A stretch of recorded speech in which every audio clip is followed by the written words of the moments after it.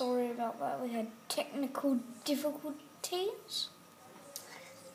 And basically, I just went around the corner and there was this place. I don't know what the hell it is, but on the front it said beacon. So, but there's no beacon. Oh!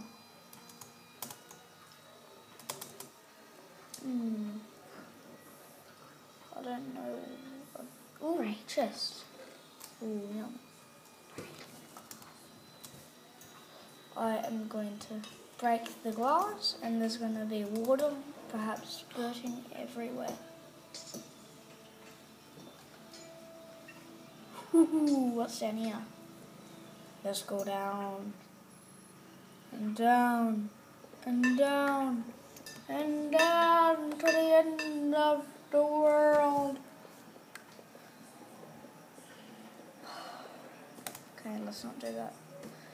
Um, yeah, just fun to play around this on this one. Sorry about the lag, but laggy. Um, furnaces do not have anything in them.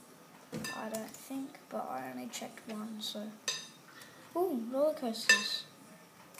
And on top there are roller coasters. But since you're doing hunt dance, you don't want to ride them. And ooh, there's one over here. There's a lake, and it's got diamonds, which is basically all you want. Yeah enchantment table in there and a chest on top. This isn't the thing I was talking about, but anyway. Yeah, it's got four bottles of enchanting, enchanting, or whatever, and cornucopia over there, and a Viking ship. There's a Viking ship in the middle of the ocean. And in the chest it's got cookies, chest chain, chest plate, and golden ingot. And downstairs there's a chest.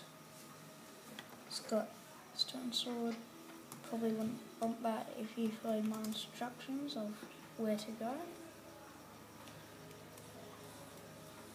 But anyway, there is, um, I'm trying to find it. Here we go. Here's a chest that's on top of this pillar. Great chest. Diamond chest plate. And um, goodbye.